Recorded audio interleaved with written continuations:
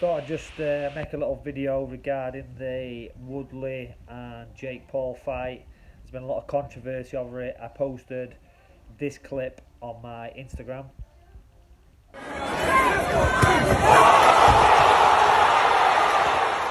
And the comments just went crazy. People saying the fight was fake. Um, people going crazy that uh, they're making so much money. You know, these guys aren't even like high level boxers fighting for world titles and making more money than, than the guys who are. Um, yeah, lots of stuff really com- coming out off the back of this. So uh, yeah, let's talk about it.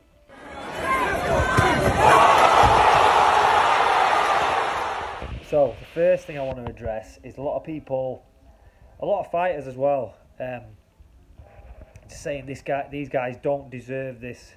You know, they're making all this money um, everybody's tuning in to watch. These guys do not deserve these opportunities, and I, I would disagree. I would say that these anybody who's made a name for themselves, regardless of how they've done it, yeah. So Jake Paul is a YouTuber.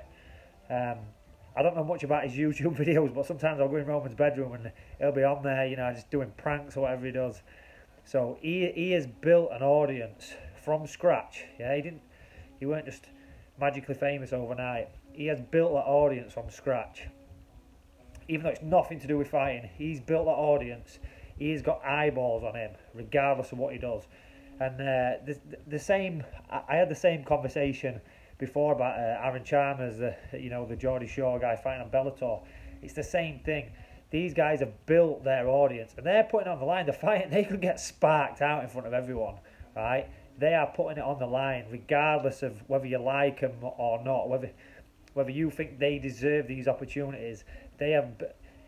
The thing about fighting is it's a spectator sport, right? It's about putting bums on seats. So if you can sell, regardless of how good you are, yeah, if you can sell arenas out, if you can sell pay per views, you will get fights. You will get good fights, and there's a lot of good fighters out there who are good. They're, they're sick fighters, right? Because they don't promote themselves right, and they're like, oh no, I just want to train and fight and that's it. They will not get the opportunities that somebody who's not as good as them, but he's better on social media, who's got better audience, better at marketing themselves. Those people are the ones who are going to get opportunities. If you're a fighter and you want to make money, you need to treat it like a business. Fighting is a business, right? Promoters are going to make money out of you. You need to maximize how much money you can make, and you do that by promoting yourself, marketing yourself. It is, and you need to run your your uh, personality almost your your brand. You are your brand. You need to run your brand as a business. Yeah. So when you're fighting, people are invested. People want to watch you. So that is the first thing. Is you know people kicking off they, they are bringing eyeballs to the sport regardless of how good they are. Does not matter. They're bringing eyeballs to the sport. They're bringing money in, and, and that's all that matters. So, you know, if you mo- the people who are moaning about it saying, "Oh, they don't deserve it," they're the people who won't get any chances because they're not willing to graft and build a name for themselves and market themselves properly. So, uh, take it as a lesson. Learn a lesson from these guys. Build your name. Build your brand and you will get the reward. Simple as that. So on to the next bit is the was the fight fake? Everybody saying the fight was fake. He took a dive. Listen, I am telling you, 100% that was not a fake fight, right? You know, that knockout. People saying, "Oh, this is wrist twist theory." So he twisted his wrist to tell him he were going to punch him telling me we were going to land that shot, so he knew it was coming and it went down. Listen, that is not true. It's simple as this, yeah. Jake Paul is a big, heavy, athletic man, right? And he can punch hard. He has literally just winged a shot. And if you look at Woodley, he half had his hand up. People saying he dropped his hand at that specific time and that. He half had his hand up, to be fair, but the shot clonked him and dropped him, and that's it. He were out cold. He got knocked the fuck out. It's simple as that. There's no fakery. There's no nothing dodgy going on.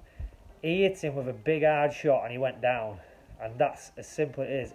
It's I know it's a bitter pill to swallow for a lot of people, but I am telling you that was not fake. He just got knocked out. Simple.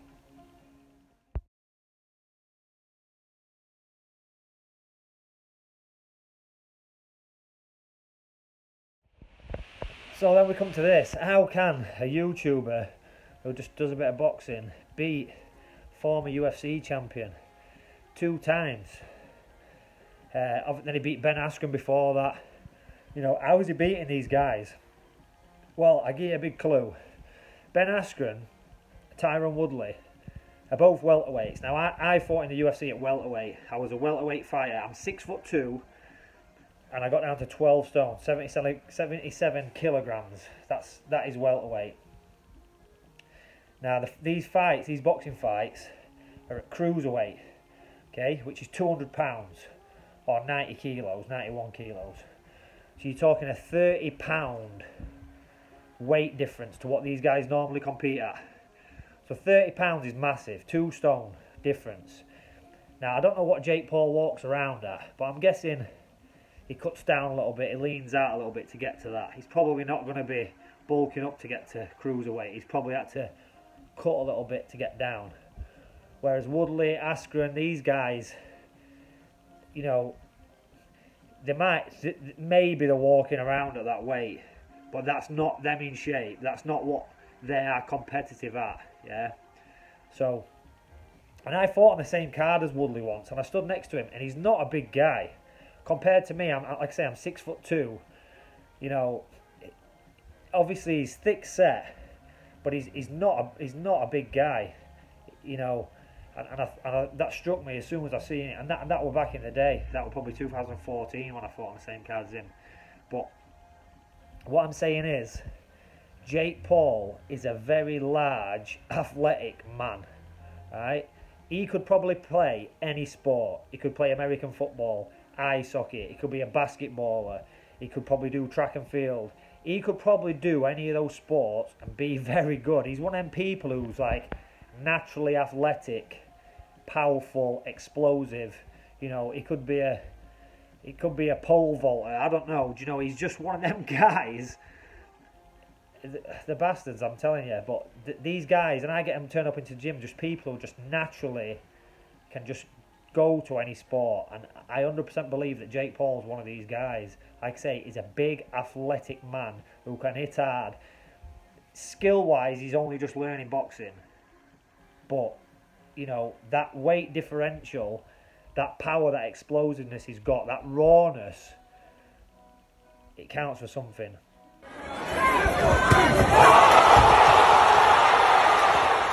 So another thing as well is that Jake Paul. Obviously, he's only just started boxing. How many fights has he had now? Like four or five fights.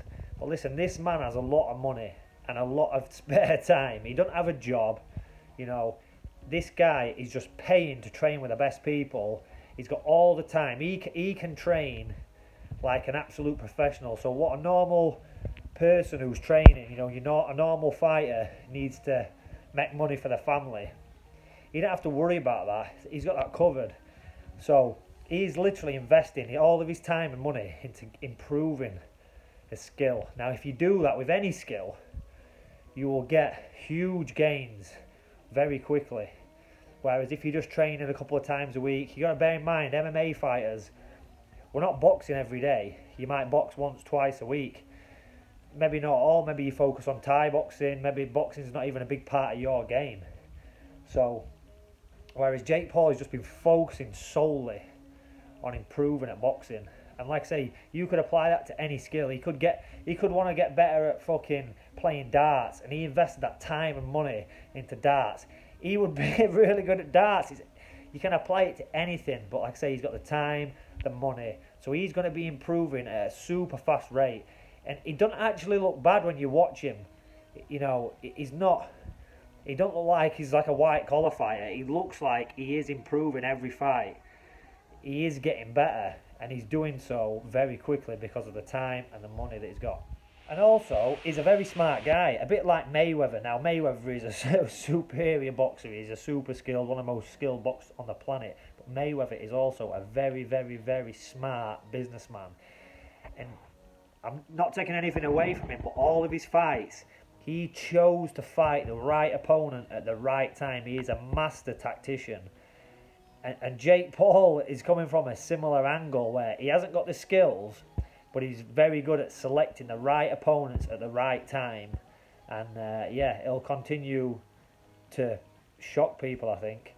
Um, obviously, the Tommy Fury thing, this is the next thing. Can he beat Tommy Fury? Now, originally, I would have said Tommy Fury will smash him to pieces completely. I couldn't wait for that fight. I still can't wait for that fight because now I actually think that it's kind of a level playing field. So Tommy is Tommy's come, obviously comes from the Fury family, a fighting family. He's not really been tested in the ring yet. Yeah, Jake Paul, you know, he's had some he's had some decent tests in there, and he's just got that power. And when you've got that power, it's one of them things where it's like getting hit by lightning. You know, you could be winning the fight and you get hit by that one shot and it's done. So it does make it a more interesting fight now. It is actually a 50-50 legit fight. Uh, so yeah, I am looking forward to that. You know, the the purist in me is saying Tommy Fury's gonna fucking box his head off, job done. But you know, realistically, this could go either way. And uh, yeah, I, I want Tommy Fury to win, but yeah, anything can happen in this sport, and, and that's that's why it makes it so interesting. What I really want to see as an MMA fighter, people are slating MMA now. He's beat Askren, he's beat Woodley twice. You know, let him fight somebody big who is a much more skilled striker. So you've got uh, people like Anderson Silva, but he's getting on a little bit now. Um, you've got Johnny Bones. Get him in with John Bo- Johnny Bones, yeah? Jon Bones Jones. Somebody like that, I think, destroys him, you know, because Johnny Bones is got all the same athleticism, youth, and he's got the skill as well. So I think that will be a nightmare for him. Johnny Bones needs to do it for MMA.